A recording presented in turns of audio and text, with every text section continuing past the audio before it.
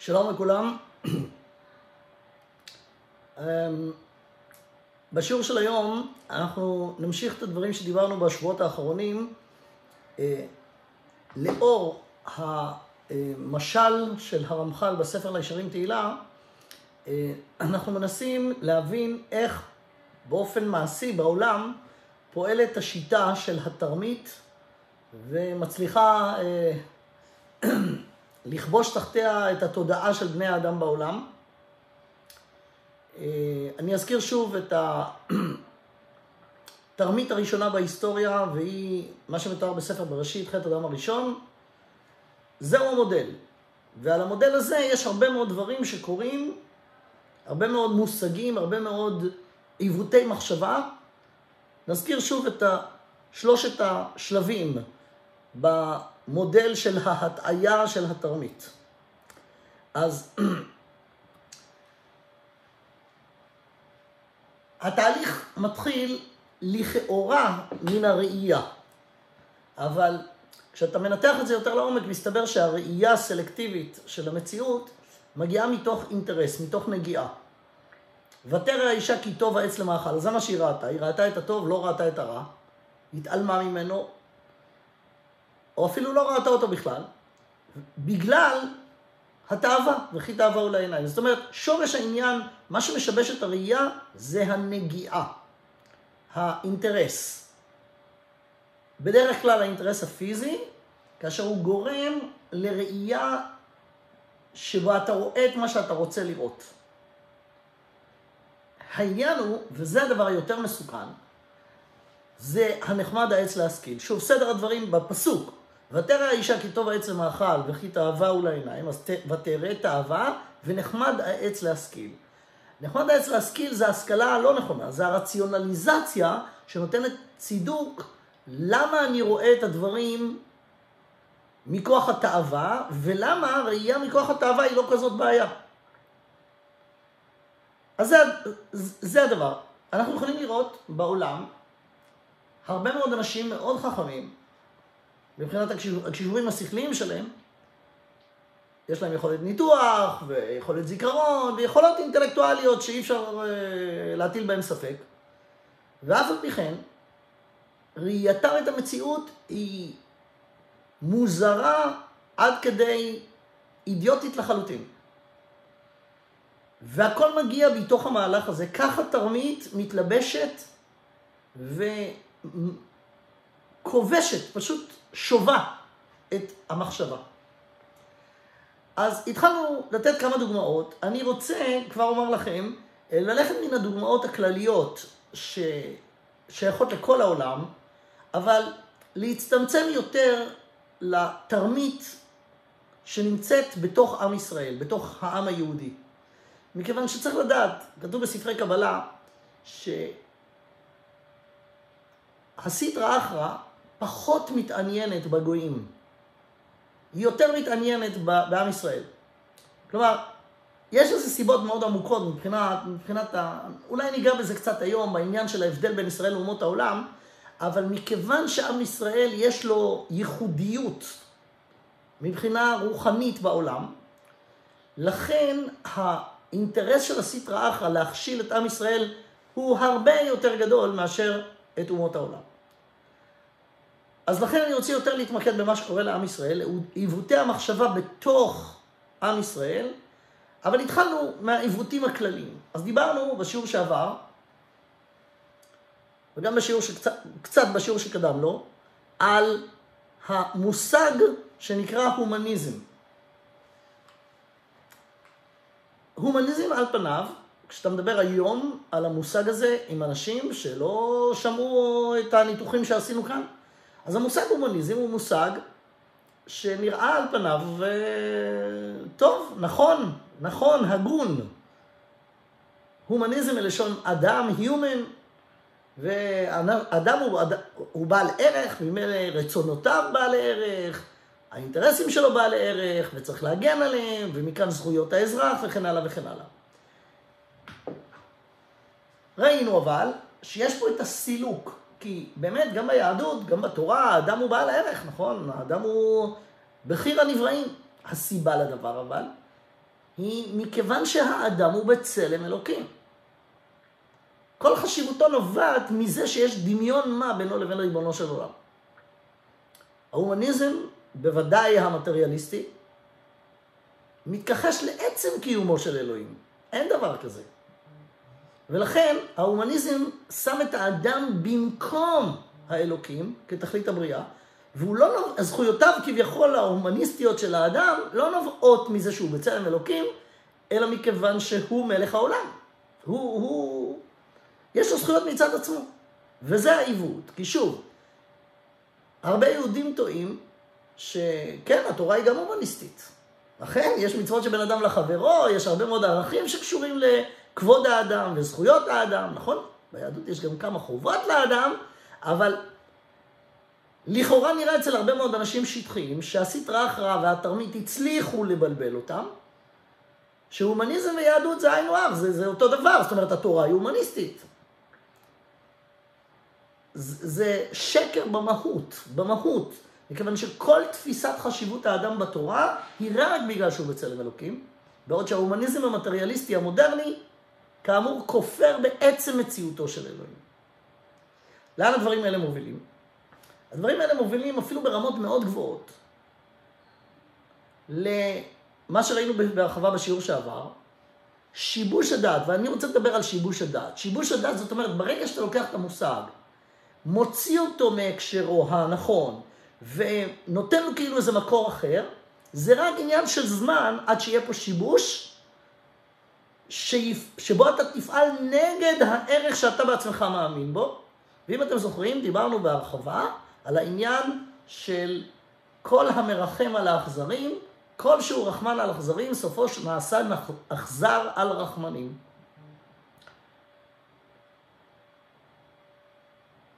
אם אני אומר, האדם לא משנה מה הוא. יש לו זכויות, הוא אדם וצריך לדאוג לו. אז זה יכול להביא למצב שבו בגלל אותו עיקרון עצמו, אתה תתאכזר לבני אדם אחרים. אפשר לראות את זה עכשיו, ממש לנגד עינינו, נכון? הרוצחים המתועבים שביצעו את הרצח ב-7 באוקטובר, הם בני אדם, לפי התפיסה ההומניסטית.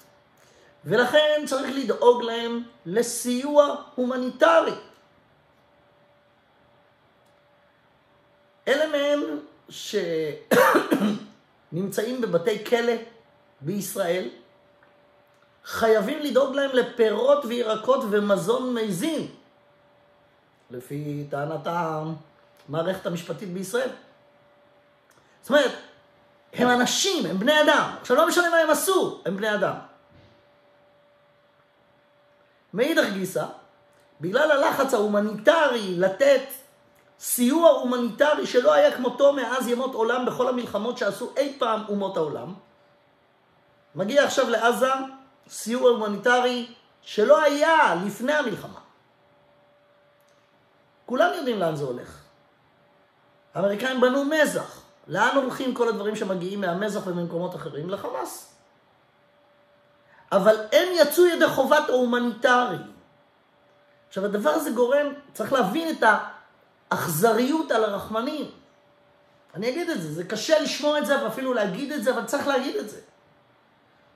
איפה פה כל המרחם על האכזרים? סופו נעשה אכזרי על הרחמנים. כבר ארבעה חודשים כל חללי צה"ל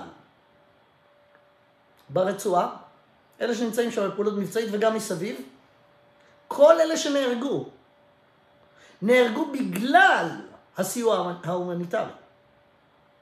אז יופי, נתת סיוע הומניטרי לאכזרים, לרוצחים, ובגלל זה שילמת בחיי אדם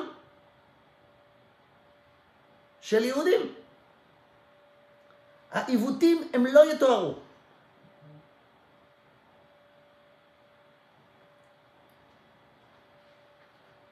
הנקודה הזאת של יכולת שיבוש הדעת, עכשיו אנחנו יכולים לראות את זה גם, אתם יודעים מה, בואו נזכיר עוד כמה פרטים. האו"ם, נכון, האו"ם, האו"ם אמור, הוא, הוא עומד מאחורי הצורך לדאוג לפלסטינאים המסכנים. אז רק השבוע הוא לוקח את הרוצחים המנוולים, סינואר ודף ואחרים, והוא משווה אותם בפשעי המלחמה למי שנלחם בהם כדי לשרש את הרוע. אותו דבר. והכל מטעמים הומניסטיים. עכשיו, זה לא רק פה, וזה לא רק בפוליטיקה, זה משבש את הדעת של כולנו בהקשרים אחרים, בזמנים אחרים. יש פה שוב לקחת מושג שביסודו הוא נכון אם אתה מחבר אותו נכון, לנתק אותו מהחיבור הנכון, לתת לו איזו עטיפה אחרת, ואז זה מוביל לכל העיוותים האפשריים והבלתי אפשריים. כשאתה מנסה להתווכח עם האנשים, או להציג בפניהם את הסתירה, אתה יכול להיות בהלם מאיך הם יצדיקו את זה. הם יצדיקו את העיוות. זה הרציונליזציה שבאה אחרי הראייה הסלקטיבית, ויש פה רציונליזציה. אני רוצה להתייחס לקטע הזה של הרציונליזציה, הגיבוי שכביכול נותן תרמית לעיוות של המחשבה. לצורך זה נלמד קטע בתנ"ך, ספר יושע, ישעיהו, פרק ה', בואו נראה מה כתוב שם, ננסה ללמוד את זה קצת לעומק. ישעיהו פרק ה', מפסוק כ'. אז כך מוכיח הנביא בשם השם את בני דורו של אז, אבל זה נכון לכל הדורות. וכך הוא אומר, הוי האומרים לרע טוב, ולטוב רע. שמים חושך לאור, ואור לחושך, שמים מר למתוק, ומתוק למר. כבר הזכרנו הרבה פעמים שכשלומדים תנ"ך, נכון, צריך להבין שאין אה, מילים נרדפות, אין דברים לתפארת המליצה, כל דבר מאוד מאוד מדויק. מה בעצם כתוב פה במשפט הזה? הוא מדבר פה על אנשים שכל מושגי הדעת הבסיסיים משובשים אצלהם.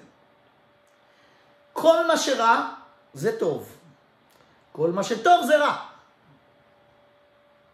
וכך הם מאמינים בשכלם. עכשיו הוא מוסיף, המשפט הראשון, האומרים לרע טוב ולטוב רע, מדברים פה על ערכים, על אידאות. בהמשך הוא מוסיף משהו לא מתחום הדעת. שמים חושך לאור ואור לחושך. זה כבר לא מתחום השכל, זה מתחום החושים. הראייה הפיזית, הראייה הפיזית רואה אור בתור חושך וחושך בתור אור. ואחר כך הוא מוסיף עוד דוגמה מתחום החושים, כי בראייה אתה יכול להגיד יש איזה דימוי בין ראייה שכלית לראייה פיזית. ועכשיו הוא עובר לחוש הטעם, שימו לב. שמים מר למתוק ומתוק למר. כלומר, יש פה שיבוש שהנביא מתאר אותו בשלוש, בשלושה תחומים.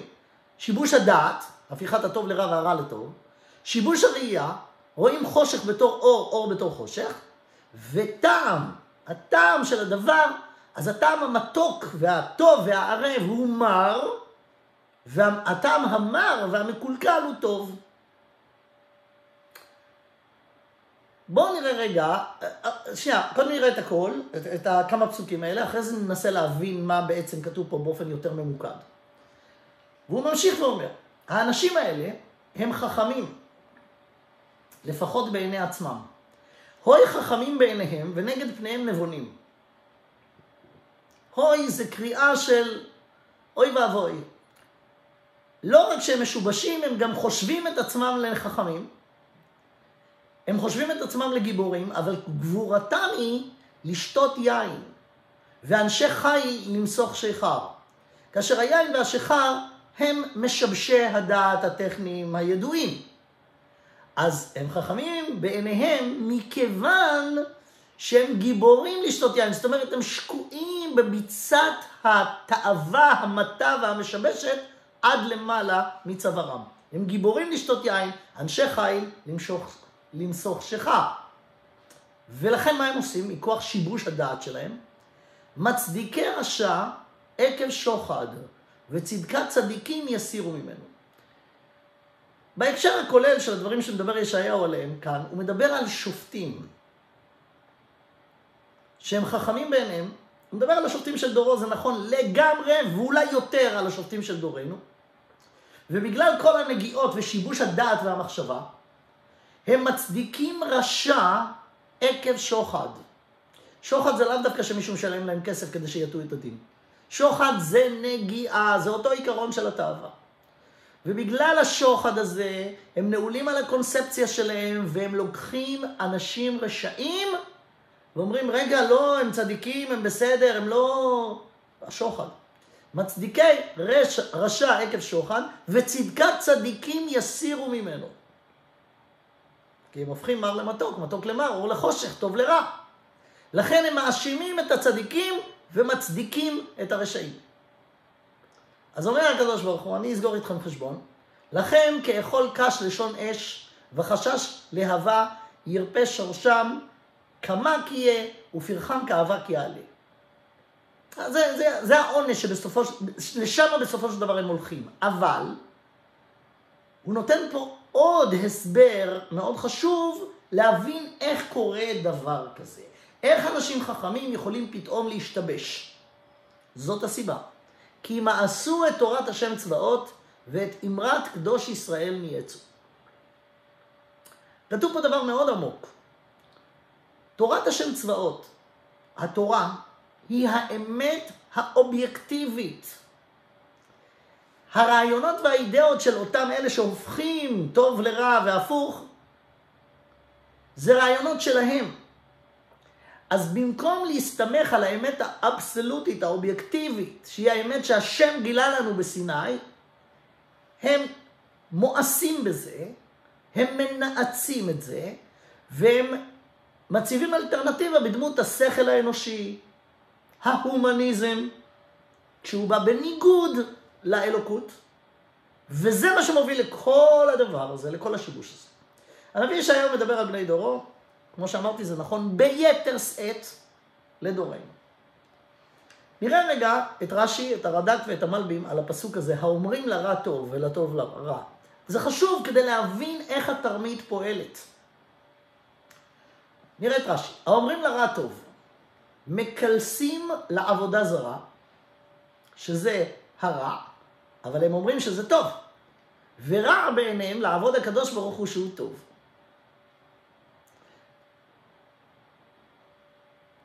אני חושב שהזכרנו את זה בעבר, נחזור על זה כאן שוב, שעבודה זרה זה לאו דווקא לקחת פסל ולהשתחוות לו. פירוש המילים עבודה זרה זה התבטלות, השתעבדות לדבר שהוא זר, לדבר שהוא לא אמת.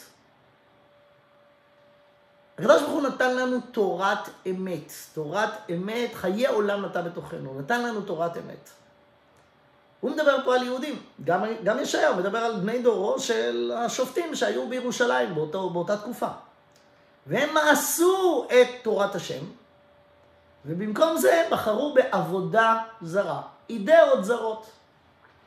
ולכן הם שמים חושך לאור, דבר שהוא עתיד להביא עליהם חושך, הרי בסופו של דבר הם יתרסקו לתוך הקיר.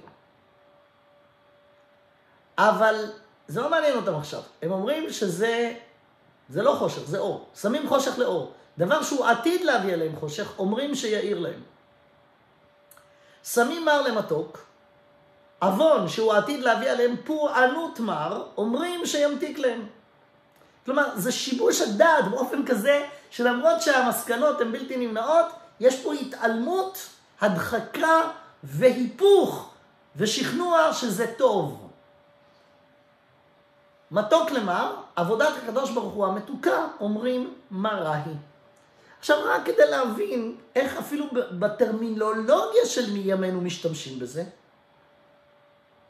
אז בואו נזכיר את, הביטו, את הביטויים. נאור וחשוך. נכון? במושגי ימינו, מי הוא אדם נאור? אז אדם נאור הוא אדם משכיל בחוכמת הטבע, ב- ב- ב- באיש מדע, אדם שבקיא במחקרים האחרונים, יש לו ידע נרחב על העולם הפיזי, הוא אדם נאור. ומי הוא אדם חשוך? אדם חשוך הוא אדם שלא ממש מתעניין במדעי הטבע, ומתעסק בעניינים רוחניים, נגיד לומד תורה. אז לומדי התורה הם החשוכים, והנאורים זה הכופרים, הרשעים המתעלמים מן התורה, ומוצאים משמעויות אחרות במה עושה את האדם ליצור חיובי, אינטלקטואלי. הנאורים האלה, ברובם, הם אלה שבדיוק עליהם כאן מדובר. בדיוק עליהם כאן הנביא מדבר. אלה שהופכים הכל. אפשר לראות את זה גם בארץ, אבל בארצות הברית, עכשיו זה כבר התפרסם בצורה... אצל הרבה אנשים זה היה שוק. כל האוניברסיטות המובילות בארצות הברית, ה-Ivy Leagues, שייכים בדיוק לחבר'ה האלה, שהופכים הכל. טוב זה רע ורע זה טוב, וטרוריסטים הם אה, לוחמי חופש, ומי שנלחם בפשע הוא הרשע שאותו צריך לגנות, ועושים הפגנות. כל תפיסת ה progressive, ה progressive, progressive זה להתקדם, להתקדם לאן? לאיפה מתקדמים? מתקדמים לגיהינום, מתקדמים להתרסקות. אבל זה בדיוק הדבר הזה. ממה זה נובע? הרי הם אנשים חכמים, נכון? נכון, אין, אין...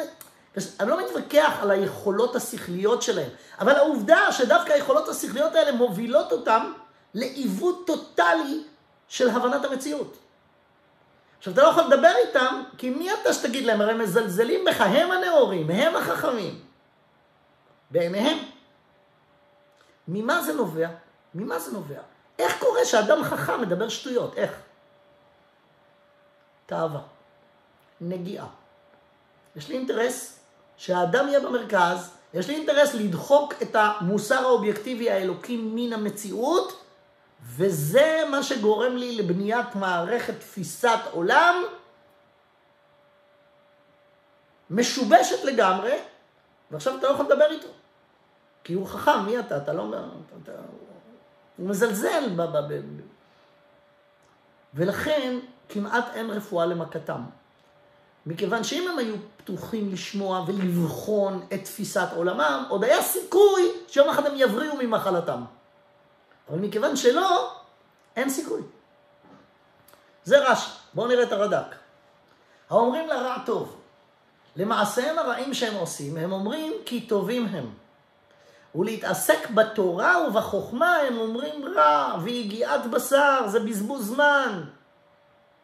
והם כאילו שמים חושך לאור. וכאן הוא, הוא מבחין, הוא, הוא, הוא פשוט יורד לרזולוציות האלה, זוכרים? יש פה שלושה דברים. אומרים לרע טוב ולטוב רע, שזה עניין שכלי, אבל אחר כך זה עובר לחושים, וכך הוא אומר, והם כאילו שמים חושך לאור, כיוון שלא יבדילו בשכל מהו טוב ומהו רע, הרי הם כמי שלא יבדילו בחושים, ויכזב להם חוש הרעות, חושך לאור ואור לחושך, וחוש הטעם, מר למתוק ומתוק למר. המלבים, האומרים לרע טוב, כמו שיקרה בחולי הגוף, חולי הגוף, אנשים שיש להם בעיה, מחלה פיזית, שיטעמו המר מתוק והמתוק מר, או חולי העיניים, שידמו האור חושך והחושך אור.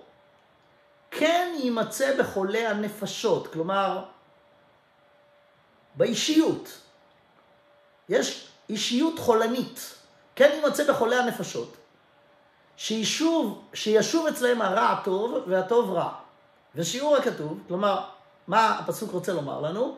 קורא אני, הוי, כן, קורא אני אל האומרים לרע טוב ולטוב רע, הלא הם שמים אור לחושך וחושך לאור, מר למתוק ומתוק למר, כי נדמו בחוליים הנפשי כמחלה אנושה גופית, עד שנעדר מאיתו כוח ההבחנה וההרגשה. אמנם, וכאן הוא אומר שמחלתם היא בעייתית, היא בעייתית מאוד, למה? כי אנשים שהם חולים פיזית, אמנם, לעומת שחולים יסמכו על עדות הבריאים העומדים כנגדם, שמגידים להם שזה אור ומתוק, או חושך ומר, לא כן אלה. אלה שחולים במחלה הנפשית, מה שקורה פה, השיבוש של הדעת, הם לא יקשיבו לאנשים שמסביבם. למה? כי הם חושבים שהם יותר חכמים מכולם. וזה ההמשך, זה הפסוק הבא, כן? הפסוק הבא אומר, אוי האומרים לרע טוב ולטוב רע, שמים חושך לאור ואור לחושך, שמים מר למתוק ומתוק למר, והם חכמים בעיניהם, ונגד פניהם נבונים, אבל מאיפה נובעת הגבורה והחוכמה שלהם? כי הם גיבורים לשתות יין, הם גיבורים... הם, הם נגועים ברמה מאוד מאוד גבוהה, זה נקרא גבורה. בהקשר הזה, בדימוי פה. הם נגועים ברמה מאוד גבוהה בנגיעה, בתאווה, והיא משמשת את דעתם. וסיבת הדבר זה כי מעשו את תורת השם צבאות ואת אמרת קדוש ישראל נייצו. גם הנביא ירמיהו מתייחס לאותם חכמים, במרכאות, שדווקא חוכמתם עומדת להם לרועץ. בפרק ד' אומר ירמיהו, כי אוויל עמי, אותי לא ידעו, בנים שכלים המה ולא נבונים, ולא נבונים המה. חכמים המה להרע ולהיטיב לא ידעו. חכמים המה להרע. כלומר, אף אחד לא יכול לקחת מהעם היהודי את העובדה שהוא עם חכם, מבחינת היכולות השכליות. אבל יש אפשרות שהחוכמה תנותב לכיוון הרע, וזה מה שהוא אומר פה. זה היה המצב של הדור של ירמיהו לפני החורבן. הם היו חכמים להרע. להיטיב הם לא ידעו. שם אין חוכמה. החוכמה היא איך, איך להתעוות יותר ויותר. וכן ירמיהו בפרק ב' שמעו דבר השם בית יעקב וכל משפחות ישראל, כה אמר השם, מה מצאו אבותיכם בי עוול כי רחקו מעליי? שוב, הנביא ירמיהו מדבר על ההיסטוריה שמאז הכניסה לארץ עד חורבן הבית הראשון. הוא בשם השם אומר, כה אמר השם. למה? למה עזבתם? קיבלתם תורה. ראיתם את שליטת השם בעולם. אז מה גרם לכם לעזוב? מה מצאו אבותיכם בי עוול כי רחקו מעליי? וילכו אחרי ההבל ויהבלו. ולא אמרו, היה השם המעלה אותנו מארץ מצרים, המוליך אותנו במדבר, בארץ ערבה ושוחה, בארץ צייה וצל מוות, בארץ לא עבר באיש ולא ישב אדם שם. מי הוציא אותנו ממצרים? יצאנו מכוח עצמנו? לא, הקדוש ברוך הוא הוציא אותנו. הוא קיים אותנו במדבר 40 שנה עם מן וסלב וכולי, ומים. והוא הביא אותנו לארץ ישראל, ואביא אתכם אל ארץ הכרמל. ארץ הכרמל זה לא הר הכרמל בחיפה, אלא כרמל זה ארץ, זה... ולחם וקלי וכרמל לא תאכלו. כרמל זה, זה מזון משובח. ואביא אתכם אל ארץ הכרמל, לאכול פריה וטובה, ומה עשיתם? ותבואו ות, ותטמאו את ארצי ונחלתי שמתם לתועבה. הכל מתחיל מהרחקו מעליי. כי מעשו תורת השם. התרחקתם ממני, הבאתי אתכם לארץ הקודש, מה עשיתם בארץ הקודש? טימאתם אותה. ותבואו ותטמאו את ארצי, ונחלתי שמתם לתועבה. עכשיו, זה פשוט מדהים איך ההיסטוריה חוזרת על עצמה. ארץ ישראל היא ארץ הקודש, גם בימינו. במה מתהדרת מדינת ישראל? בזה שהיא מאוד ליברלית, והיא מאוד פרוגרסיבית, והיא מתירה, מאפשרת, מעודדת מצעד, מצעדי תועבה בירושלים, בתל אביב, בכל... תל אביב היא בירת הגייז בעולם.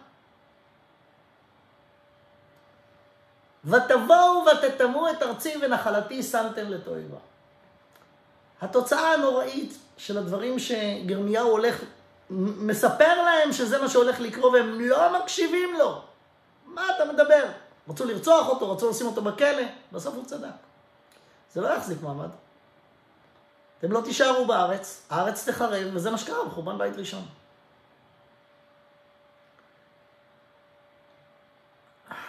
זה לא כל כך פשוט, מה שקורה היום. לא כל כך פשוט. אבל לפי התקדימים התנכיים, לפי התקדימים התנכיים, אם לא יהיה שינוי דרמטי והעם לא ייקח את העניינים לידיים וישנה באופן טוטאלי את האופן שבו מתנהלת מדינת ישראל, אני אישית רואה שמדינת ישראל הולכת להיחרב. לפי התקדימים התנכיים. זה, זה פשוט, זה לא תיאוריה. זה קרה, וזה קרה כמה פעמים. זה קרה בחורבן ממלכת ישראל, עשרת השבטים, חורבן בית ראשון, חורבן בית שני. החוקיות האלוקית לא משתנה. ארץ ישראל ממשיכה להיות ארץ הקודש. כל הצרות שיש באות בגלל זה. אבל אף אחד לא מקשיב. למה? כי התרמית השתלטה לגמרי על המוחות של האנשים. כמו שאמרנו כמה פעמים, לא בטוח שיהיו הרבה אוזניים קשובות שיהיו מסוגלות לעכל את הדברים האלה. כי עוד לא נשבר עמוד התווך, אבל הוא בדרך להישבר. ושוב, אם לא יהיה שינוי דרמטי, והשינוי הזה יכול להיות או כי השם יעשה אותו, או כי אנחנו, העם צריך לקחת את הדברים לידיים, להעיף את בית המשפט העליון הפרוגרסיבי-ליברלי לכל הרוחות, לשנות את כל השלטון במדינת ישראל. אם זה לא יקרה, לפי התקדימים ההיסטוריים, המדינה הולכת להיחרב. בצורה כזאת או אחרת. זאת לא פסימיות. אני יודע שלא שומעים דברים כאלה. רוב האנשים רוצים להשלות את עצמם ולומר שהכל בסדר והכל יהיה בסדר. אוקיי, אני אומרת מה שאני מבין מתוך התורה, וככה זה נראה. שהכל הולך להיחרב, במידה ולא יהיה שינוי מיידי. כי אנחנו נמצאים היום במצבים שבהם הלגיטימציה לטומאה היא בכל תוקף ובכל עוז מצד הש... השליטים ב... במדינה, שזה בית המשפט העליון, שזה כל התפיסה הפרוגרסיבית ששולטת באקדמיה, ששולטת בצבא, ששולטת בתקשורת. הם כולם אלה שעליהם דובר כאן עכשיו. הופכים טוב לרע, רע לטוב. מר למתוק, מתוק למר, אור לחושך, חושך לאור. ולא עולה בדעתם בכלל לשנות את זה. אבל הם הולכים לאבדון. יש לזה תקדימים היסטוריים, וזה יקרה שוב אם לא יהיה שינוי. לכן המצב מאוד מאוד לא פשוט.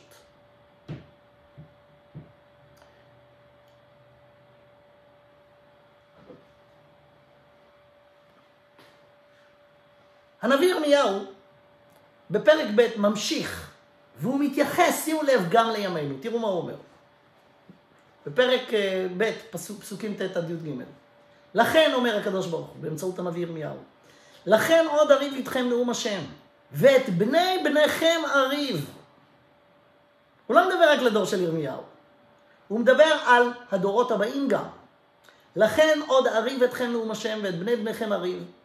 ואז הוא אומר, כי עברו איי כיתים וראו, וקידר שילחו והתבוננו מאוד, וראו, הן הייתה כזאת? ההמיר גוי אלוהים והמה לא אלוהים? תסתכלו על ההיסטוריה של העמים, אנשים, עמים דבקו בתפיסות עולמם ולא המירו מרצון את תפיסת עולמם לטובה, היה בכפייה, אבל לא מרצון. ועמי, אומר הקדוש ברוך הוא, עם ישראל, המיר כבודו בלא, בלא יועיל. לא הכריחו אתכם, אתם מרצון, נטשתם, מאסתם בתורת השם והלכתם ל... להיות ככל העמים. ועל זה הוא אומר, שומו שמיים על זאת.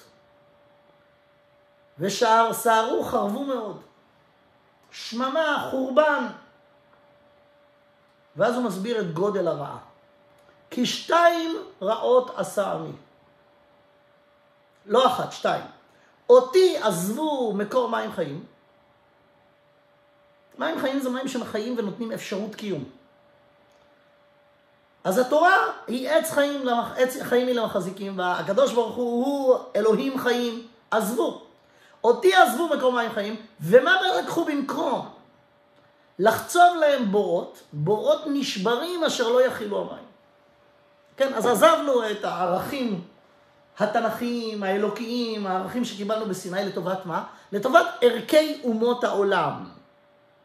ערכי אומות העולם, מדמים את זה למים, כן? אבל יש מים חיים, שזה מי מעיין נובעים בריאים ונקיים, לטובת מי בור. בור זה משהו שאתה חופר, חפירה בקרקע, ושם בתוכו מים, אבל החפירה הזו צריכה להיות בנויה בצורה כזאת שהמים ישרדו בתוך הבור, אבל הבורות האלה הם בורות נשברים, שהמים הם נזילים ונוזלים מהם ולא מחזיקים את המים. זה לא מחזיק מים. כל הידיעות וכל הרעיונות של אומות העולם.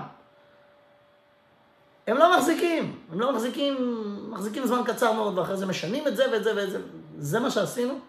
היה לנו את הדבר הכי יציב בעולם, עזבנו את זה לטובת אידאות, כי רצינו להיות ככל העמים, וזאת הצרה הגדולה.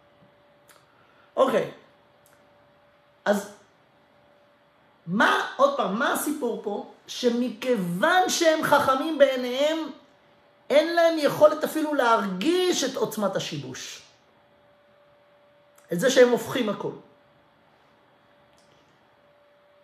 אני רוצה לדבר על עוד עיקרון אחד, שהוא, אני פשוט, מה שאני אעשה כאן עכשיו, בסדרה הזאת, אני אקח את כל ערכי אומות העולם, הערכים ששולטים בחברה המערבית. שהרבה מאוד יהודים רחוקים מן האמת, רחוקים מן התורה, רחוקים מהשם, כל כך מתרגשים ומצדיעים לערכים האלה. בואו נראה מה הם, בואו נראה מה השקפת היהדות עליהם, ועד כמה אנחנו נמצאים ברמת השיבוש, וכבר הזכרתי שיהיו הרבה אנשים שיהיו מופתעים עד כמה אנחנו חושבים שאנחנו מבינים ואנחנו לגמרי שבויים בתוך הקונספציה. אחד מעשרת הדיברות, במרכאות, כפולות ומכופלות, של הליברליזם הפרוגרסיבי השליט בחברה המערבית. אז יש כמה ערכים מרכזיים. אז אחד מהם אמרנו זה הומניזם. אבל עכשיו יש איזו נגזרת של ההומניזם, וגם פה יש שיבוש שלא יתואר. אני מתכוון לערך שנקרא בשם שוויון. נכון? מה זה? זה אחד מעשרת הדיברות של התפיסה המערבית הליברלית. שוויון. שוב, מה זה שוויון? כל בני האדם הם בעלי ערך בגלל שהם human, שהם אדם, ויש שוויון, שוויון. על פניו זה נראה טוב, כי אם אין שוויון אז יש קיפוח. קיפוח זה נראה לא טוב. אז לכן זה כמו הומניזם, זה מין ערך כזה שכשאתה שומע אותו בהתחלה ואתה לא מבין לנתח אותו לעומק, הוא נראה הערך הכי הכי נעלה בעולם. שוויון, למה לא? שלא יהיה הבדלי מעמדות וכן הלאה. טוב, כשמסתכלים על המצ... במציאות, כל אלה שמדברים על שוויון, המציאות שלהם היא, היא שקרית.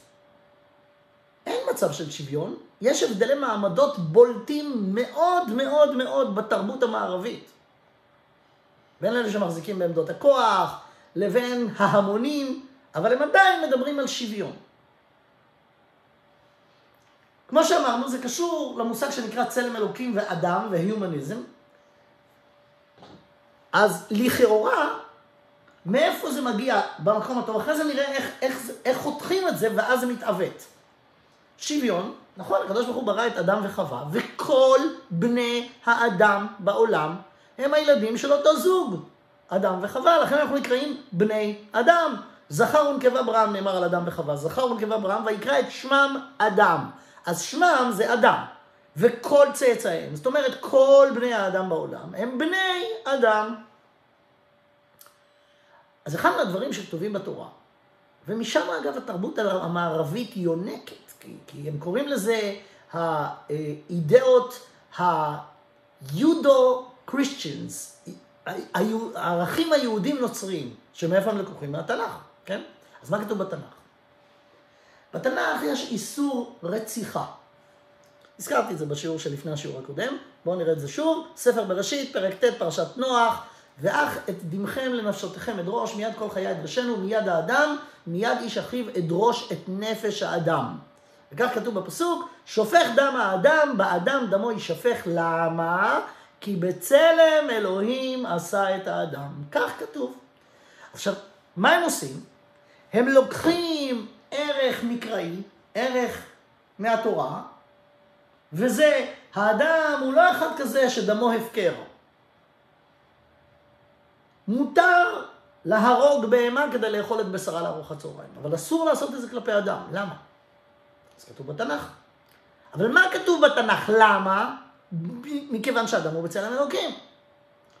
ובאמת, לא רק בתנ"ך זה כתוב, במשנה במסכת אבות, שגם חלק ממנה ראינו בפעמים הקודמות, פרק ג', משנה י"ב, רבי עקיבא אומר, חביב אדם שנברא בצלם, זאת כל סיבת חיבתו. כל סיבת הערך שיש לאדם, זה כי הוא נברא בצלם. חיבה יתרה נודעת לו שנברא בצלם, שנאמר כי בצלם אלוהים עשה את האדם. מה עשה, מה עשתה ההומניזם, מה עשה ההומניזם המטריאלי, הכפרני, שמסתמך על השכל האנושי ועל השכל האנושי בלבד, והוא לא מקבל שום דברים מיסטיים, חתך את האלוקים מן הצלם, ועכשיו יש אדם. עכשיו האדם הזה, צריך להבין שוב, בואו נבין. למה האדם הוא בעל ערך? כי הוא בצלם אלוקים. האם זה ללא תנאי? התשובה היא לא. אם הוא בצלם אלוקים, אז הוא בעל ערך. מה קורה אם הוא אדם שברמה העקרונית הוא אמור להיות בצלם אלוקים, אבל הוא מתנהג באופן שהכי מרסק והורס את הצלם, האלוקים שבו. אז עדיין הוא צריך להיות, יש לו זכויות אדם. אם כל, כל עניין ערכו זה כי הוא צלם אלוקים, אז מה קורה אם הוא פועל בניגוד למוסר, לאמת, לצדק? לפי התפיסה ההומניסטית הוא עדיין human, כי אין קשר שמה בין human לבין אלוקים.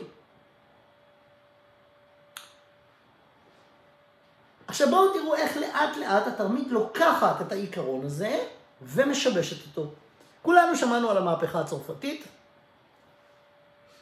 ששם לכאורה הייתה התקוממות גדולה מאוד מול הסיאוב של הכנסייה ששלטה באירופה המון המון המון שנים, וזהו, עכשיו אנחנו רוצים חופש. אז הורסים את כל הדת הנוצרית. אגב, אנחנו לא מזילים דמעה על זה, אנחנו היהודים. הורסים את הדת הנוצרית ומייצרים עכשיו אדם הומניסטי שהעקרונות שלו זה חירות, חופש, ושאף אחד לא יגיד לו מה לעשות.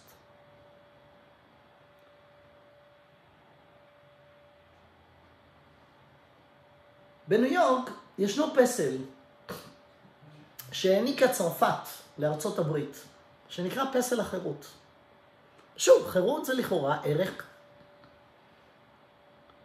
ערך נהדר, מה זאת אומרת? חירות, זה אף אחד לא, האדם הוא יצור ריבוני, שלא יגידו לו מה לעשות, שלא ישעבדו אותו, לא לדיקטטורים ולא לדתות, שיעשה מה שהוא רוצה לעשות, חירות. על פניו, אפשר להתנגד לזה? ואכן, במגילת העצמאות של ארצות הברית, אני מצטט קטע מתורגם של כמה משפטים, אבל נבין, שמה זה נותן חיזוק, כי ארצות הברית היא המובילה של התרבות המערבית, לפחות מאז הקמתה עד לפחות לפני כמה שנים. היא המובילה של מה שנקרא התרבות המערבית. מה כתוב במגילת העצמאות? כמה משפטים. כתבו כותבי החוקה של ארצות הברית, כותבי מגילת העצמאות. מקובלות עלינו אמיתות אלו שמוכחות מעליהן שכל בני האדם נבראו שווים ושהבורא, הם מדברים על הבורא, ושהבורא העניק להם זכויות מסוימות שלא ניתן לשלול מהם. זאת אומרת, זה העיקרון שעליו קמה החברה, ארצות הברית. הבורא העניק לכלל בני האדם, שכולם נבראו שווים, זכויות מסוימות שלא נשל... ניתן לשלול, אמ, שלא ניתן לשלול מהם, זאת אומרת, זה יהיה פשע לשלול את הזכויות האלה מ... אם אדם ישלול את זה מאדם אחר, ובתוכן הזכות לחיים, לחירות ולחיפוש אחר האושר. אז יש פה פרשנות, נכון? של אבות האומה האמריקאית את התנ"ך. אלוקים ברא את בני האדם, הנחת העבודה שלהם, שהם כותבים על זה, זה מוכח מאליו, לא צריך אפילו, זה לא נושא לוויכוח. שכל בני אדם נבראו שווים, ושהבורא נתן להם זכויות. יש פה קצת התעלמות מהחובות שאותו בורא, גם הוא ביקש. אבל בינתיים בואו לא נתייחס אליה בצורה מאוד נגטיבית. הבורא העניק להם זכויות. מה הזכויות האלה כוללות? זכות לחיים. לכל אדם יש זכות לחיים. לחירות, שאף אחד לא יקבע לו מה לעשות, ולחיפוש אחר האושר. כשזה היה בשלב הזה זה עוד לא היה נורא. אבל מאז חלפו 240-250 שנה, מאז שנכתבה מגילת העצמאות של ארה"ב, ואנחנו רואים היום לאן הדברים האלה מובילים. בשם הזכות לחיפוש אחר העושר ולחירות. היום השמאל הפרוגרסיבי בארצות הברית ובאירופה ממש רחום וחנון וחומל על כל הפושעים שמגיעים מכל המדינות הכי הכי קשות, אירופה, אפגניסטן, עיראק, אחרי כל המלחמות של האביב הערבי שמדינות אירופה וארצות הברית השכילו לעשות שם לפני שני עשורים. כל הדבר הזה מגיע לאירופה, ועכשיו בממשל ביידן זה מגיע לארצות הברית מדרום אמריקה, והורס את החברה. הוא הורס את אירופה. צריך להיות עיוור כדי לא לראות שאירופה אבודה. נקווה שיהיה מה שיעצור את ההרס של ארצות הברית, אבל זה לא בטוח שזה יקרה, וזה לא אכפת להם. הם חכמים, הם לא לא רואים מה קורה, אבל מה? שיבוש הדעת, השוויון וזכויות האדם הם מעל הכל. מעל הכל כולל שהם בעצמם מחריבים את האזרחים שרוצים לחיות לפי העיקרון הזה. של חירות וחיפוש אחר העושר, אבל הם מביאים עליהם את אותם אלה שמטרתם המוצהרת, הם אומרים את זה. הם אומרים את זה ברור, הם אומרים שהם רוצים להשליט את חוקי האסלאם הקיצוני על אירופה, ובמקומות מסוימים הם כבר רוב והם יעשו את זה. מה אז יקרה לזכויות האזרח? מה אז יקרה לחירות? הזכות לחיים? לא תהיה זכות לחיים. מי שלא יתנהג לפי השריעה, ג'יהאד, חותכים לו את הראש. וזה מה שמצפה להם שם. בצרפת, בצרפת, בגרמניה, באנגליה. תבינו עכשיו את עומק השיבוש. יש לנו ערך, שוויון. יש לנו ערך, הומניזם. בשם הערך הזה אנחנו הורסים את ההומניזם והורסים את השוויון. מהי השקפת היהדות? אז שוב, הרבה אנשים, לצערי, הרבה אנשים, חובשי כיפות, חושבים שאין סתירה בין הומניזם ליהדות, היהדות היא הומניסטית. יש להם קצת בעיה עם אחות תמחה את זכר עמלק, אבל חוץ מזה היהדות היא מאוד הומניסטית. ואהבת לרעך כמוך, כל העניינים שבין אדם לחברו. היהדות היא בעד שוויון, בוודאי. מה זאת אומרת? מה, שיהיה אדם מקופח? מה עושים בדיוק עם עבדים, עבד, ואפילו עבד עברי? מתעלמים מזה. אבל ברמה היותר פנימית, הרמה היותר עקרונית, תראו עד היכן מגיע שיבוש הדעת אצלנו, אצלנו. האם היהדות בעד שוויון? האם היהדות דוגלת בשוויון כערך? אז בואו נראה כמה דברים, ואז תחליטו בעצמכם. הקדוש ברוך הוא אומר לעם ישראל, אני בראתי את העולם. בראתי את האדם. את כלל, זה כתוב בתורה, אבל בספר שמות קרה משהו. מה קורה? הקדוש ברוך הוא, אותו בורא שעליו מדברת חוקת ארצות הברית, נכון? שכל בני האדם בעולם נבראו שווים. ושהבורא העניק להם, הבורא העניק להם זכויות. אותו בורא, מאותו תנ"ך שממנו ארצות הברית והחברה המערבית המודרנית לוקחת את הערכים האלה. אותו בורא אומר לנו לפני קבלת התורה במעמד הר סיני כך: ועתה אם שמוע תשמעו בקולי ושמרתם את בריתי וייתם לי סגולה מכל העמים. מה זה ייתם לי סגולה מכל העמים? אתם תהיו מיוחדים. סגולה זה אוצר. אז אם תשמעו בקולי ושמרתם את בריתי, שמרתם את בריתי זה הברית, ברית שנחרטה בסיני, ידענו מה שהוא הולך לתת לנו עכשיו, את התורה. אם תשמרו את הברית הזאת, אז אתם תהיו לי סגולה מכל העמים, כי לי כל הארץ. ואתם, עם ישראל, תהיו לי ממלכת כהנים, כהנים וגוי קדוש. מה הוא אומר כאן? הקדוש ברוך הוא שברא את כל העולם ואת כל בני אדם. הוא אומר, אני הולך לעשות הבחנה ביניכם לבין אומות העולם. אתם תהיו סגולה, סגולה זה אוצר, זאת אומרת, אתם תהיו במקום אחר. לפחות עכשיו, חכו בהמשך, נראה עוד דברים יותר מפורטים, אבל זה מה שהוא אומר. אלה הדברים אשר תדבר על בני ישראל. ויבוא משה ויקרא לזקנה ויעשה לפניהם את הדברים האלה אשר ציווהו. השם ויענו כל העם יחדיו ויאמרו כל אשר דיבר השם נעשה וקיבלנו על עצמנו את הדבר הזה. מה קיבלנו? שאנחנו לא נתנהל כמו שכל אומות העולם מתנהלות, אלא נתנהל לפי חוקי האלוקים, ובזה נהיה עם סגולה. אצל ההומניסטים דוגלי השוויון בעולם וגם בתוך העם היהודי, אלה שהם הומניסטים, המושג עם סגולה גורם להם פריחה. המושג אשר בחר בנו מכל העמים, מכניס אותם לטירוף. גזענות, התנשאות, אבל זה כתוב בתורה, שממנה התרבות המערבית לקחה את העקרונות שלה. אבל מה היא עשתה? היא לקחה את העקרונות וגזרה. היא לקחה את הצלם, חתכה אותו מהאלוהים. היא לקחה בורא ברא, ואני מתעלמת ממה שכתוב כאן, אשר בחר בנו מכל העמים, הוא בחר בנו מכל העמים. מה זה אומר? שיש הבדל. שאין שוויון. אין שוויון בין עם ישראל לכל יתר אומות העולם. אין שוויון. שוויון זה לא ערך יהודי, בטח לא כפי שמבינים אותו אומות העולם. אין שוויון לחלוטין. יש גוי קדוש ויש גויים טמאים, כי זה האנטיתזה של קדושה. ואין שוויון.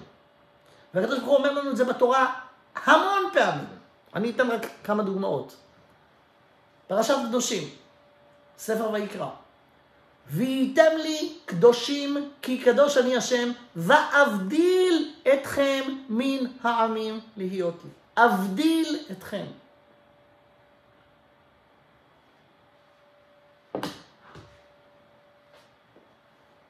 יש הבדלה, אין שוויון.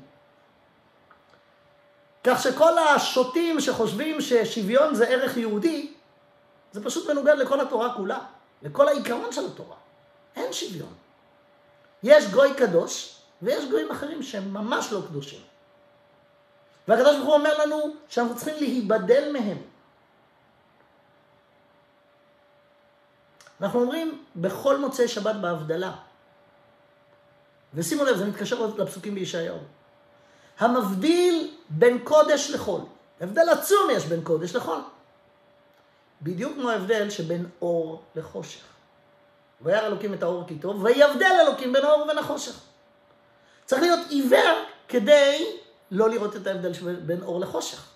אבל צריך להיות עיוור בריבוע כדי לראות את החושך כאור ואת האור כחושך, שזה המצב. אותו הבדל שקיים בין חושך לאור, קיים בין ישראל לבין אומות העולם. המבדיל בין קודש לחול, בין אור לחושך, בין ישראל לעמים. אז עוד מישהו יכול להסתובב עם כיפה, ולפעמים אפילו עם זקן, ולהגיד ששוויון זה ערך יהודי? זה ממש לא ערך יהודי, ואסור שזה יהיה ערך יהודי. אסור ליהודי להיות שווה לגוי. כי אז, כי אז כל העולם יהיה מנותק מהבריאה, מה, מהבורא ומהתכלית. ואבדיל אתכם מן העמים. אז זה גם דבר שבהרבה מאוד רמות, הרבה מאוד אנשים, הרחוקים בוודאי, אבל גם הקרובים, והקרובים קצת יותר, צריכים להכניס לנו טוב טוב לראש. שיש פה ערך שקרי שכל העולם מקבל אותו כמובן מאליו, ומי יכול בכלל להתווכח עליו? והתרמית הצליחה לשכנע את כולם שזה ערך נכון, והיא הצליחה לשכנע גם אותנו שזה ערך שלנו. בדיוק הנחש הקדמוני. בדיוק השיטה הזאת. אני רוצה, ככה לסיום היום, להראות איזה קטע מתוך דבריו של הרמח"ל. לא בלישרים תהילה, אלא בספר אחר שהוא כתב, דרך השם. חלק ב' של ספר דרך השם מדבר על ההשגחה האלוקית, על הבריאה אחרי שהוא ברא אותה, איך הוא מנהל אותה. בעניין של ההשגחה הוא מדבר על ההבחנה בהשגחה האלוקית בעולם, על בני האדם בעולם, בין ישראל לאומות העולם. יש שם פרק שלם שנקרא בין ישראל לאומות העולם, מומלץ מאוד ללמוד אותו. אני נתתי שיעור על העניין הזה. אה, האם כל בני האדם בעולם שווים? ואז אני מלמד את כל הפרק הזה. האם כל בני האדם בעולם שווים? בואו נראה רק כמה יסודות מדבריו. הוא מתחיל את הפרק כך. בעניין, זה הכותרת של הפרק שם, בעניין ישראל ואומות העולם. אומר הרמח"ל, מן העניינים העמוקים שבהנהגתו יתברך, הוא עניין ישראל ואומות העולם. שמצד טבע האנושי, טבע האנושי, כלומר אם מסתכלים מתוך המציאות החומרית, נראה היותם שווים באמת. כשאתה מסתכל על זה אבל ממקום מאוד מסוים, אם אתה מסתכל מבחינת החומר והטבע, אין הבדל בין בני אדם בעולם. אין הבדל בין ישראל לאומות העולם. מצד הטבע האנושי נראה היותם שווים. באמת. ומצד ענייני התורה, שזה מבט גבוה יותר, שנותן לך את ההסתכלות הכוללת יותר, לא רק ברמה הגשמית, אלא גם ברמה, בצירוף של החומר והרוח. ומצד ענייני התורה, שימו לב למילים של הרמח"ל, כל מילה פה היא מאוד מאוד נוקבת ומדויקת.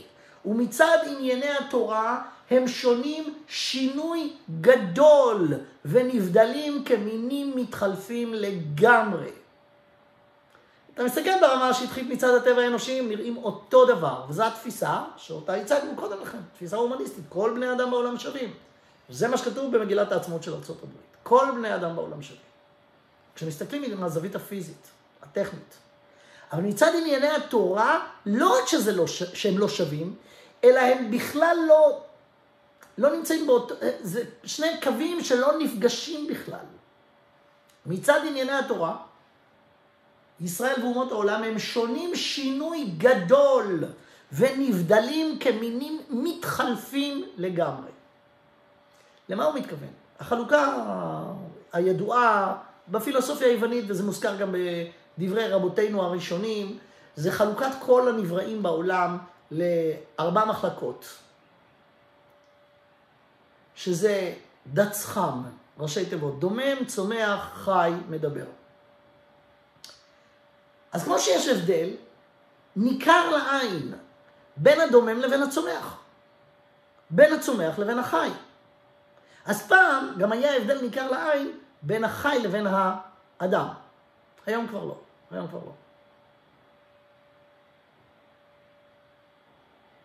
הכוזרי, רבנו יהודה הלוי, רבי יהודה הלוי בספר הכוזרי,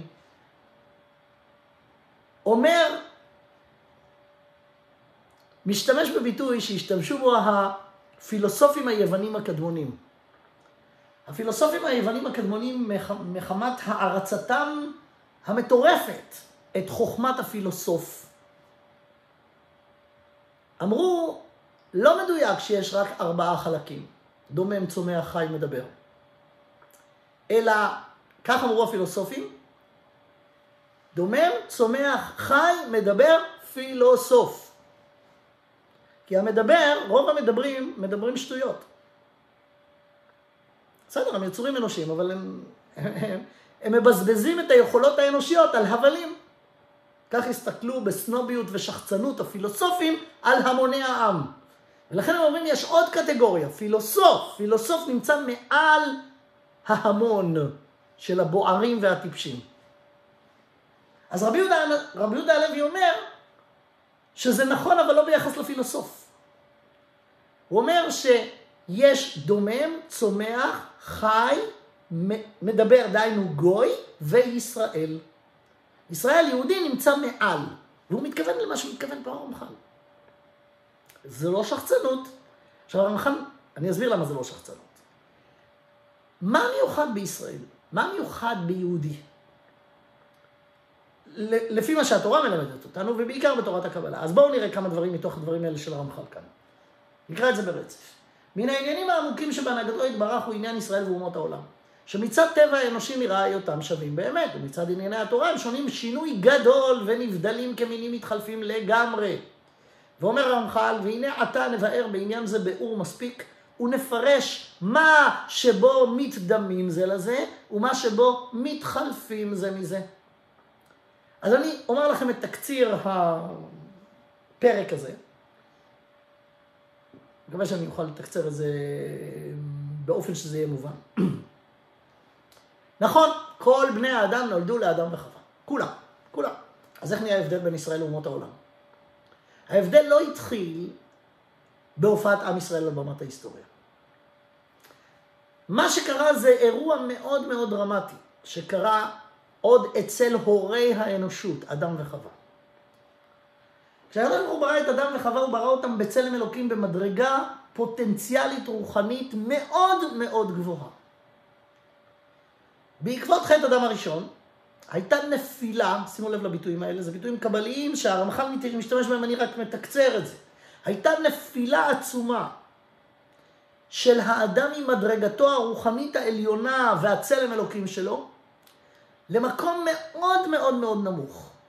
בלשון המדרש, כשאדם הראשון נברא היה מן הארץ עד לרקיע, וזה לא כפשוטם הדברים, כשחטא, שם הקדוש ברוך הוא עליו את כפו ומיעטו.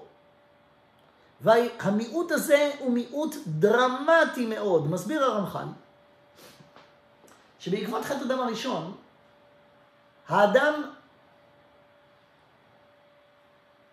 מימש את הבחירה שהקדוש ברוך הוא נתן לו באופן לא טוב, וכתוצאה מזה הוא הונמך מאוד ממדרגתו הרוחנית שהייתה לו. עדיין, הוא לא איבד את הפוטנציאל, אבל במצב שאחרי החטא הוא נמצא במקום השפל, לא במקום העליון, במקום השפל של הפוטנציאל העצום הגלום בו. הילדים שנולדו לו, אחרי החטא, נולדו לתוך המצב השפל שבא בעקבות החטא, והם המשיכו את המגמה של החטא. עשרה דורות מאדם ועד נוח, וכולם היו מכניסים והולכים, עד שהביא עליהם את מי המבול. עשרה דורות מנוח ועד אברהם, וכולם היו מכניסים והולכים, עד שפיזר אותם בדור הפלגה. ואז התחיל השינוי. כל הדורות האלה, עשרים הדורות האלה, היו במדרגה השפלה ביותר, הרחוקה מאוד מאוד ממיצוי הפוטנציאל האנושי, שהיה, שנמצא בטבעו של האדם. עד עשרים דורות אחרי. ואז נולד אברהם אבינו. ואברהם אבינו, בבחירתו, ביוזמתו, מבין שכולם טועים, והוא שואף לחזור למצב של אדם הראשון לפני החטא. ופה מתחיל השינוי. עכשיו הרמח"ל מעריך לזה מאוד בפרק הזה, בפרק הזה, חלק ב', פרק ד', בפרק ד' של חלק ב' של דרך השם, אבל הוא מעריך בזה עוד גם בחלק א', שהוא מסביר את ההשלכות של חטא אדם הראשון. כאן הוא מסביר שאברהם אבינו היה הראשון שרוצה להחזיר את הדברים לאופן הפוטנציאלי הגבוה שאליו נברא אדם הראשון. אבל זה היה תהליך שהיה צריך לעבור תהליך זיכוך שעניינו שעבוד מצרים וייסורים ומרקים עוונות שהיו במצרים. ואז הקדוש ברוך הוא מוציא את בני ישראל ממצרים ומביא אותם להר סיני, ושם הם מגיעים למדרגה של אדם הראשון לפני החטא. וזה ההבדל בין ישראל לאומות העולם. כל אומות העולם מעולם לא עלו ממדרגת הנפילה של חטא אדם הראשון. של חטא אדם הראשון. רק עם ישראל, בעקבות שיעבוד מצרים ובעקבות קבלת התורה במעמד הר סיני, ולכן במעמד הר סיני הקדוש ברוך הוא אומר לנו, ואתם תהיו לי ממלכת כהנים וגוי קדוש, תהיו לי סגולה, למה? ביחס לאומות העולם שנשארים במקום הנמוך, ואני מעלה אתכם חזרה אליי. זה ההבדל. ההבדל הוא הבדל רוחני, הוא לא הבדל גשמי. אבל מהרגע שיש הבדל כזה, זה הבדל דרמטי, משמעותי, שעושה הכי הפוך משוויון בין ישראל לאומות העולם. נראה עוד כמה שורות מהמשך הפרק הזה, דברים חשובים מאוד, ידיעות שאם אתה יודע אותם או לא יודע אותם זה הבדל עצום. ממשיך הרמח"ל שמה, והוא אומר כך, ואברהם לבדו נבחר, למה הוא נבחר? במעשיו, בבחירתו, ונתעלה וחזר למדרגה העליונה. ואז אברהם אבינו חי בתקופה של הקמת מגדל בבל. הוא היה בן 48 שנה כשנמרוד ו... ו... ו... כל הארץ, שפה אחת ודברים אחדים, בנו את מגדל בבל. אברהם אבינו חי באותו דור, והוא היה בן 48 שנה, ואז הוא נבחר במעשיו ונתעלה, ואז מתחלק העולם ל-70 אומות, כל אחד מהם במדרגה ידועה. זה לא מקרה שיש 70, יש לכל אחד מדרגה אחרת, אבל בסך הכל, המכנה המשותף של כל ה-70, אבל כולם בבחינת האנושיות בשפלותו, וישראל בלבד בבחינת האנושיות בעילויו. וזה ההבדל. זה ההבדל, ההבדל הוא לא הבדל פיזי, באמת מבחינה פיזית אין הבדל בין יהודי לבין גוי. ברמה הרפואית, בריאותית, אפשר להשתיל לב של יהודי לגוי, הגוי לא יהיה בגלל זה יהודי. או הפוך, לב של גוי ליהודי, זו איברים פיזיים, זה לא הדבר, ההבדל בין יהודי לבין גוי זה בנשמה, לא בגוף. כי תראו, תראו את ההמשך, הוא מביא את הדברים. ואולם, באות ו' שם באותו פרק, לקראת סוף הפרק. ואולם לא הייתה הגזרה להעביד האומות האלה, אבל הייתה הגזרה שיישארו במדרגה השפלה שזכרנו. והוא מין אנושיות שהיה ראוי שלא יימצא אילו לא חטא האדם הראשון.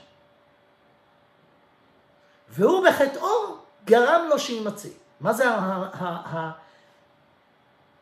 מין אנושיות כזאת, שהיא לא האנושיות במיטבה, מבחינה רוחנית, אלא אנושיות השפלה.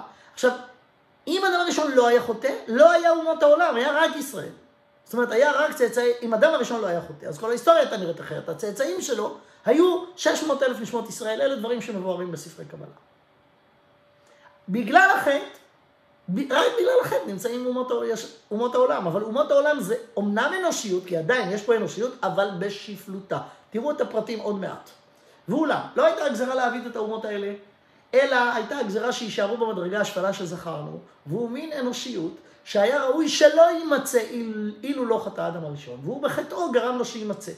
ואומנם, כיוון שיש בהם בחינת אנושיות, אף על פי שהיא שפלה, רצה הקדוש ברוך הוא שיהיה להם מעין מה שראוי לאנושיות האמיתי. והיינו, שימו לב, שיהיה להם נשמה כעין נשמות ישראל. אז צריך לדעת, לגויים יש נשמה. לכל בני אדם בעולם יש נשמה. אבל יש הבדל עצום, וההבדל הוא בנשמה. והיינו, שיהיה להם נשמה כעין נשמות בני ישראל, אף על פי שאין מדרגתה מדרגת נשמות ישראל, אלא שפלה מהם הרבה. הרבה זה הרבה. זה לא קצת, הרבה. אבל יש להם נשמה.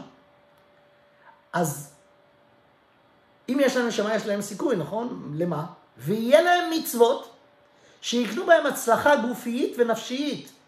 גם כן, כפי מה שראוי לבחינתם, כלומר במדרגת הנשמה שלהם, והם שבע מצוות בני נוח. וגוי, ששומר שבע מצוות בני נוח, נקרא חסיד אומות העולם ויש לו חלק לעולם הבא. גוי שלא שומר שבע מצוות בני נוח, אין לו חלק לעולם הבא. כלומר, במציאות של הקיום הנצחי, אין להם מקום. הם לא יהיו שם. ההבדל אם כן בין יהודי לבין גוי זה לא בגוף, כמו שהוא אמר בהתחלה, מ, מ, מ, באופן הטבעי האנושי הפיזי נראה שאין הבדל לחלוטין בין יהודי לבין גוי. שוויון. אבל מבחינת האמת הרוחנית, אי אפשר בכלל להשוות, וההבדל הוא לא בגוף, הוא בנשמה. ממשיך הרמח"ל, בואו נראה עוד קטע, ואולם לעולם הבא, מה זה העולם הבא? זה העולם של המציאות האינסופית. ואולם לעולם הבא לא תימצאנה אומות זולת ישראל. אומות. עכשיו, בודדים מאומות העולם, שהתנהגו וחיו נכון והם חסידי אומות העולם, יהיה להם מקום, אבל לא אומה. האומה היחידה שתהיה במציאות הנצח, זה עם ישראל. כל ישראל יש להם חלק לעולם הבא. כישראל, כאומה. ואולם לעולם הבא לא תימצאנה אומות זולת ישראל. ולנפש חסידי אומות העולם יינתן מציאות בבחינה נוספת. כלומר, הבודדים מאומות העולם שהם חסידי אומות העולם, מציאותם תהיה מציאות נצחית, אבל שימו לב, ולנפש חסידי אומות העולם יינתן מציאות בבחינה נוספת ונספחת על ישראל עצמם. ונטפלים להם כלבוש הנטפל לאדם. אני נותן דוגמה, יש את האדם ויש את הלבוש. עכשיו, כשאדם לובש את הלבוש, אז לבוש זה חלק ממנו, אבל באמת זה חלק ממנו, כמו שהיד זה חלק מהגוף? לא.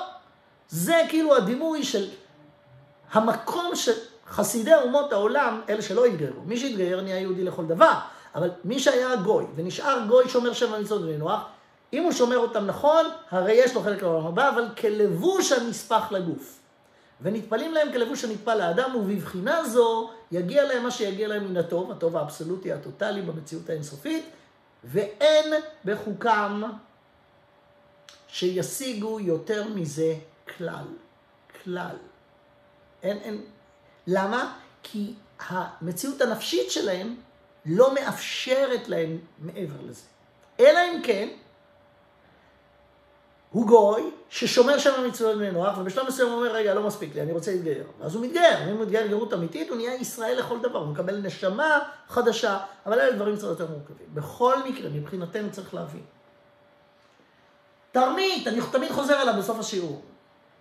תרמית הצליח לשבות את כל תפיסת העולם של כל העולם, אבל הכי חשוב, כמו שאמרתי בהתחלה, הסטרה אחר רוצה בעיקר ל- לכבוש את הקדושה.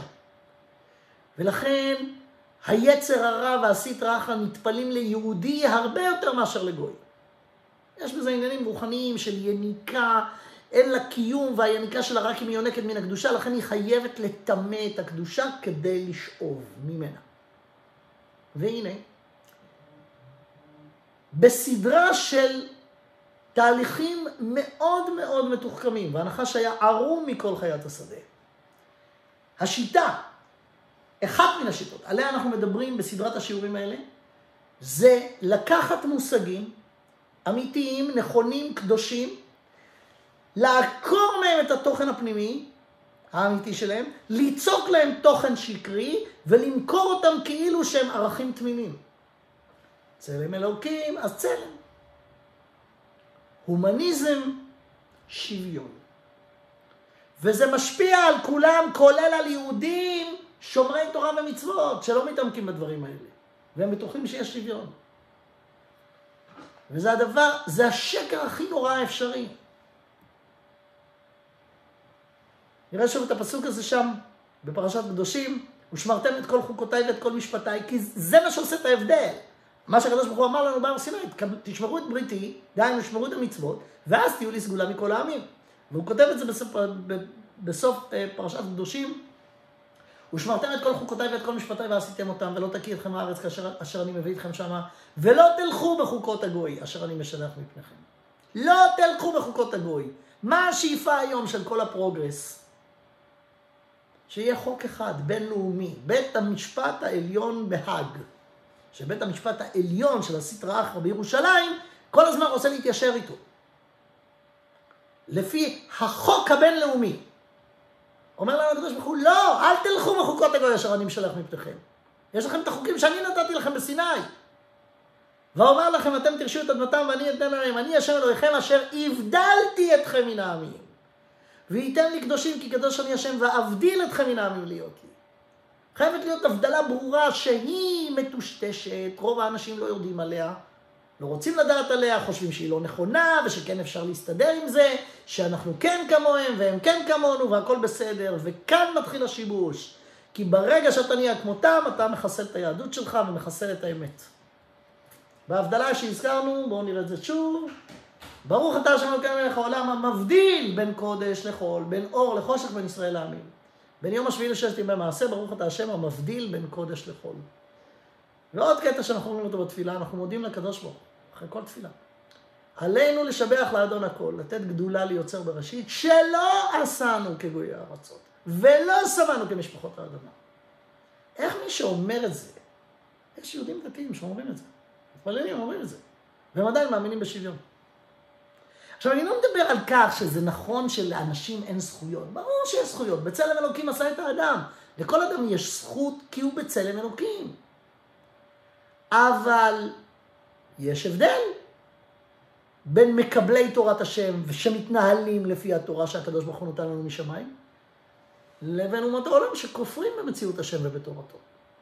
ולשם בוודאי לא צריך לשאוף לשוויון, וכשכן שואפים לשוויון, ובארץ הם לא, ההנהגה בארץ, בית המשפט העליון, פועל לפי החוקיות הזאת. והשאיפה שלו זה שכולם יהיו בשוויון. אני אזכיר פה עוד, עוד דבר שיכול לפתוח איזה תיבת פנדורה, פנדורה, אבל צריך להבין שזה חלק מכל הדבר הזה. שמעתם את המושג שנקרא שוויון בנטל?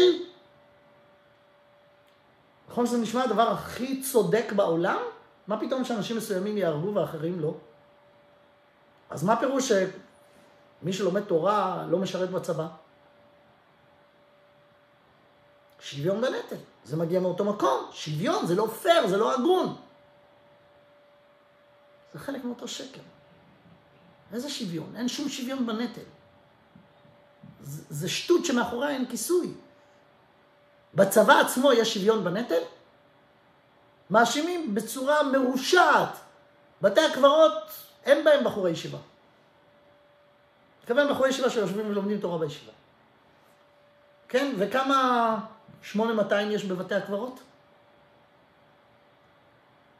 וכמה אנשי מודיעין יש בבית הקברות? אז זה לא שוויון בנטל, אלא מה? צריך אותם. צריך אותם. צריך, צריך אנשי מודיעין, צריך 8200, צריך כאלה שלא ממש רצים ומסתערים עם נשק ומסכנים את עצמם במגע פיזי. אבל אף אחד לא חולק על זה שהם תורמים 8200, יושבים במשרד ממוזג, יושבים ליד מחשב, והם תורמים, הם לא מסכנים את החיים שלהם, אבל הם חיוניים. איפה חוסר ההבנה? שמי שלומד תורה, הזכויות הרוחניות האלה, כי הם, חי... כי הם, דברי התורה, הם חיינו ואורך ימינו. הם נותנים את היכולת ואת הסייעתא דשמיא שהקדוש ברוך הוא נותן כדי לשמור. לא החיילים מנצחים עם הכדורים והפצצות. צריך זכויות רוחניות. אבל העולם ההומניסטי, מטריאליסטי, כפרני, לא שמע על זה, הוא לא מכיר את זה, הוא לא יודע שיש רוחניות, הוא מסתכל מהמבט החומרי הפיזי, כי אנחנו ככל העמים, ואז אין שוויון, שוויון בנטל. מי שנושא בנטל מבחינת האמת, זה לומדי התורה ומקיימי המצוות שמחוברים לקדוש ברוך הוא ובגלל הזכויות האלה הוא שומר עלינו, לא בגלל צה"ל וכל הכבוד לצה"ל. אם צה"ל יכול לנצח זה בגללם, הם הנוטלים, הנושאים בעיקר הנטל. אבל איך תגיד דבר כזה לפני שנשבר עמוד התווך? תרמית שולט, העולם כולו שטוף מוח, ולכן יהיו המון אנשים, אני יודע מראש, שמאוד יכעסו על המשפטים האלה שאמרתי עכשיו בסוף השיעור. אבל אני פה ללא מורא, ללא פחד, לומר בדיוק את האמת, ומי שלא מבין את זה עכשיו, יבין את זה מחר. ואם הוא לא יבין את זה מחר, אז שלא יבין. צריך שהדברים ייאמרו אצל אותם אוזניים שמסוגלות לשמוע ואצל אותו שכל שלא נגוע בנגיעות של התאווה והאינטרסים האחרים, שהוא לא שבוי בידי תרמית. זה השיעור שלנו להיום. בעזרת השם ניפגש בשיעור הבא.